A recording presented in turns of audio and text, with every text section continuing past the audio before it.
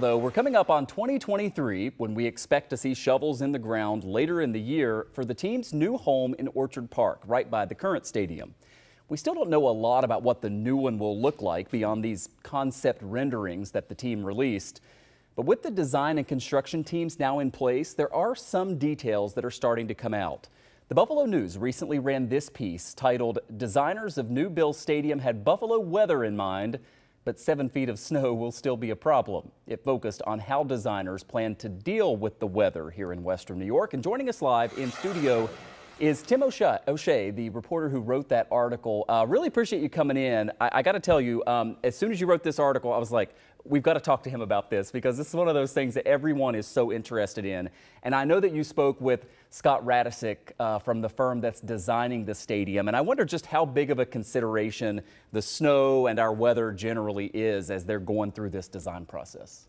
Yeah, Michael, thanks for having me. And it's, it's a huge concern. In fact, the first thing Scott Radecic told me when we were chatting about this is we call this designing for December. Mm-hmm. Um, the Bills have a real problem getting fans to show up in December. Um, they have something in uh, that they call a show rate, the number of fans, not who bought tickets, but who actually show up and use the tickets.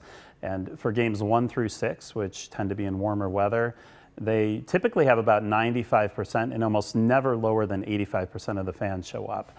Game seven and eight, which tend to be in cold, wet weather, sometimes snowy weather, they have less than 85% show up very consistently, sometimes dropping all the way down into the 60% range. Um, so they really want to create a stadium this next time around that makes fans want to be there. And the biggest things they're doing in, the, in this design for December approach is trying to keep fans warm and even more than that, dry. They want to give people a place to go warm up and they want to keep the precipitation off the fans as much as possible.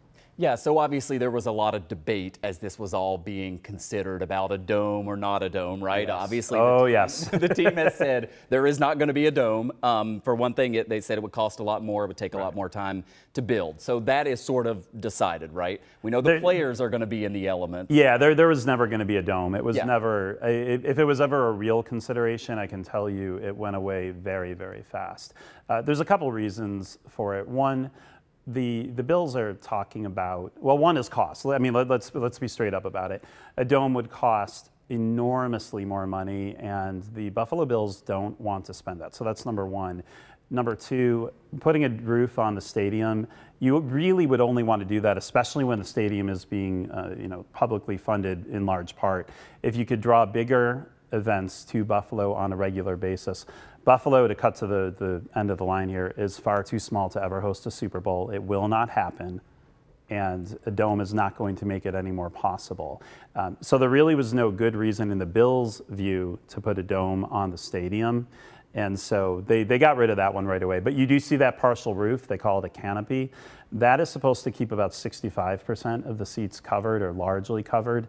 Um, that is a big part. It's not the only part, but it's a big part of what they're doing to try to keep fans dry and, and give them a chance to warm up in those late season games.